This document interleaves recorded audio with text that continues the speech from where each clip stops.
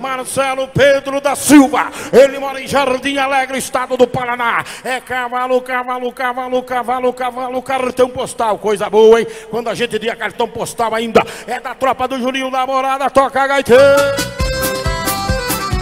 Hoje eu preciso arrumar uma paixão. Hoje eu preciso encontrar minha paixão, acalmar meu coração, me dar um. Aê, no croque, falou lá, Marcelo. Alô, meu amigo Alex Pereira. Essa abriu a porteira, abriu a porteira, abriu a porteira, bateu na bola, vai. Cuidado, cuidado, é o cartão postal, cartão postal. Duro demais, cai pra dentro. Olha o show de Cutiano. Olha só o que, que é Roseta na Ferrari.